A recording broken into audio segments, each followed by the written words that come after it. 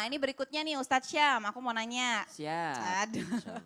Ustadz, ini misalnya aku mau pergi nih ya, mau entah itu mau keluar kota atau sekedar masih di dalam kota nih Ustadz. Tapi kan yang namanya jalan misalnya macet. Nah maksudnya ini jangan sampai dijadikan alasan nih, aduh macet lagi entar aja deh, soalnya dijamak aja sampai rumah. Nah padahal sebenarnya mungkin ada masjid deket situ, tapi karena macet kita juga jadinya ada rasa malas, mungkin kita jadinya ah udah deh di rumah aja. Nah itu gimana Hmm. sih Ustadz sebenarnya? Boleh nggak? Di jama. Heeh, di jamak. Alasannya males. Ya kejebak macet alasannya, tapi sebenarnya kan bisa Udah, aja Perjelas gitu. dulu alasannya nih. Males atau kejebak macet? Ya mungkin kejebak macet iya, tapi Heeh. bisa juga kalau males gimana? Karena mungkin sebenarnya masjid udah deket. Harusnya bukan karena alasan males. Karena alasan males tidak bisa ditolerir. Iya. Alasannya macet dan kalau saya mampir eh, tidak Jadi, memungkinkan. tidak memungkinkan. Tidak memungkinkan. Jangan males. Kalau males tidak bisa ditolerir. Tapi Kalau kan kadang-kadang suka gitu kan alasan bentar aja deh. Nah itu Atau tuh. ya lebih tepatnya mungkin pakainya kotor. Nah Ya, mungkin tidak bisa. ya Nah alasan yang gimana? lain lah yang lebih Oke, Tapi dia bismillahirrahmanirrahim. jujur Pak Ustadz, jujur, males. Iya. Pokoknya males, tidak ada toleransi kalau Oh, males, oke. tidak ada toleransi. Ya.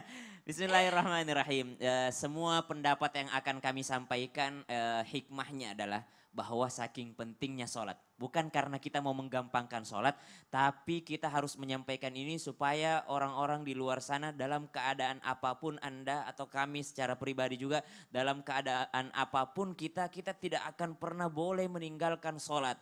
Karena sholat itu selalu ada rukhsah di dalamnya, selalu ada keringanan di dalamnya. Baik, sekarang kita akan bahas tentang jamak. Jamak itu adalah menggabungkan dua sholat di satu waktu. Menggabungkan dua sholat di satu waktu. Eh, Masing-masing ada temannya. Duhur temannya, asar, maghrib temannya isya, subuh tidak ada temannya, sendirian. Jadi zuhur berteman dengan asar. Jamak itu digabungkan antara zuhur dan asar. Entah asarnya yang ditarik ke zuhur atau zuhurnya yang diakhirkan ke asar. Begitupun dengan maghrib, isya. Lalu ulama mengatakan bahwasanya kapan boleh orang menjamak sholat.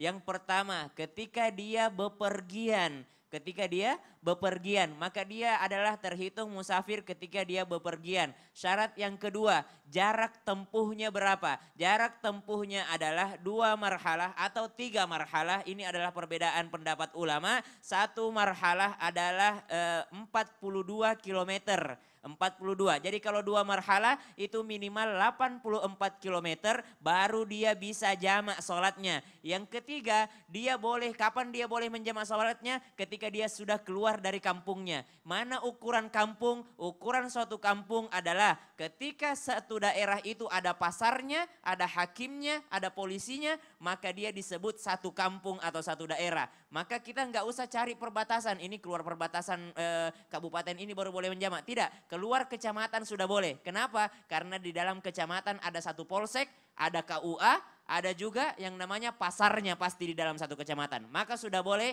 menjamak sholatnya. Sekarang orang yang tinggal di ibu kota tidak jauh jaraknya tapi macet. Maka salah satu pendapat yang tidak dikukuhkan, maksudnya pendapat ini bukan sesuatu yang menjadi permanen, cuma menjadi solusi bagi orang-orang supaya tidak meninggalkan sholat. Pendapat eh, Ibnul Munzir dari madhab syafi'i yang mengatakan syaratnya menjamak kalau macet. Boleh kalau tidak sampai 84 km. Yang penting satu, bepergian atau hendak bepergian. Syarat yang kedua adalah dia memperkirakan akan adanya macet sebentar. Jadi dia mau berangkat nih, dia sholat zuhur.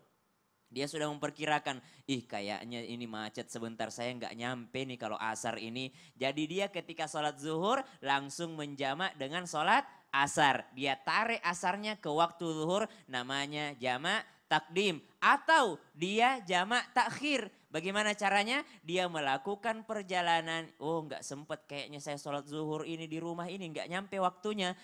Walaupun belum sampai 84 km, maka dia harus berniat dalam hati. Ya Allah, ku akhirkan sholat zuhurku ke waktu asar. Maka saya jamak takhir karena keadaan jalanan yang macet. Saya mau mampir nanti mengganggu yang namanya lalu lintas. Akan tetapi begini, ada kasus lagi Cak. Yang ketiga, dia sudah niatkan sholatnya nanti zuhurnya diakhirkan. Tapi ternyata macetnya tidak terkendali. Ha-ha. Bahkan waktu asar pun habis. Nah itu gimana? Maka dia setelah mendekati waktu maghrib, dia harus segera sholat di atas mobil. Oh. Bisa berwudu dengan segelas air? Bisa. Tidak dapat air? Tayamum. Tayamum. Tidak bisa tayamum? Tidak usah tayamum, tidak usah wudu. Langsung pakaiannya bernajis, langsung sholat di waktu itu. Dan ketika sampai nanti dikodok sholatnya tadi yang di mobil. Jadi, Jadi- tidak ada kesempatan untuk meninggalkan sholat. Jadi benar-benar nggak ada alasan ya. Nggak ada, no Masya Allah. excuse. Ya, terima kasih banyak Iya. Ustadz. Ya ini Masya Allah tadi udah diberikan penjelasan ya sama Ustadz Syam. ya. Jadi udah ada adab-adabnya dan syarat-syaratnya ya Ustadz ya. Masya Allah. Nah Alhamdulillah jamaah ini kita eh, sudah masuk ke segmen curhat online bersama jamaah di rumah. Ya ini mungkin sudah tersambung.